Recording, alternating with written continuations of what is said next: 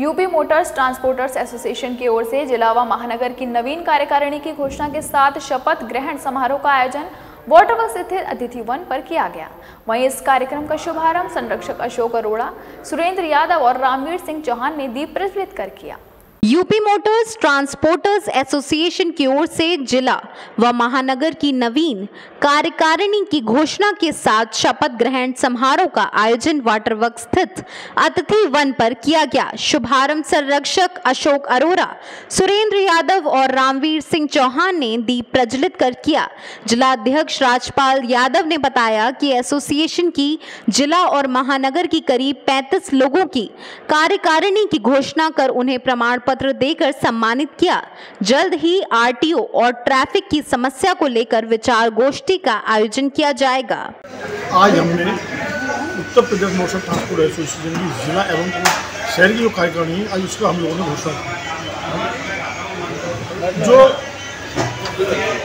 हमारे व्यापारी वर्ग हैं ट्रांसपोर्ट लाइन के, उन लोगों की समस्या को देखते हुए काफ़ी समय से दिक्कतें चली आ रही हैं। तो आज हमने जम्बो कार्यकारिणी शहर और ज़िले की दोनों मिला के आज हमने घोषणा की है। और हम लोग आने वाले समय में ट्रांसपोर्टर्स की जो होने वाली जो समस्याएँ उनके लिए हम कार्यकारिणी काम करेगी। और जिस जो व्यापार दिन पर दिन जो गर्द में जा रहा है, उसको किस तरह से हम लोग प्रोत्साहन दे सकें, उस व्यापार के लिए हम क्या कर सकें, क्योंकि उसी व्यापार से हमारे बच्चे पढ़ते हैं, वही व्यापार हमारी रोजी रोटी है। तो उस व्यापार को आगे ले जाने के लिए आज हम लोगों ने कमेटी गठित की, कमेटी के एक मेंबर्स ने शपथ लिए। अध्यक्ष शीतल सिंह भदौरिया ने कहा कि आरटीओ की मनमानी से प्रताड़ित व्यापारी अंडरलोड गाड़ी के चालान और ओवरलोड वाहन को प्रवेश करके छोड़ना, पार्किंग पर खड़े वाहन के फ़ोटो खींचकर उनका उनका फ़ोटो चालान आना, बड़े चालान की वजह से बेनतहा अवैध वसूली करने से ट्रांसपोर्टर्स व्यापारियों को समस्या का सामना करना पड़ता है। कार्यक्रम में आगरा में नए ट्रांसपोर्ट नगर की मांग करते हुए आगरा में बना ट्रांसपोर्ट नगर सिर्फ़ एक वर्कशॉप बनकर रह गया है। तिवारी जी किस तरह की ये बैठक पूरी हुई है? कार्यकारिणी घोषित की गई है। क्या क्या जिम्मेदारियाँ दी है? अब क्या रूपरेखा रहेगी? आपके कार्यक्रमों की? जितने भी ट्रांसपोर्ट व्यवसाय से जुड़े हुए भाई हैं हमारे उन सबको अलग अलग ज़िम्मेदारी दी गई है।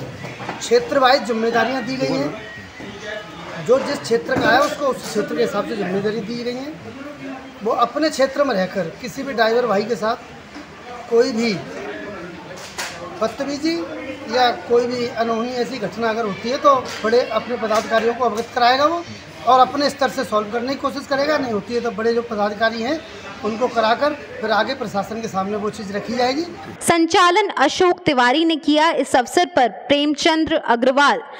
ब्रजेश चौहान, सुभाष यादव, महेंद्र शर्मा, प्रशांत यादव, शिवम गुप्ता, रवि बघेल। मून न्यूज़ के लिए हरिओम कुशवाहा की रिपोर्ट।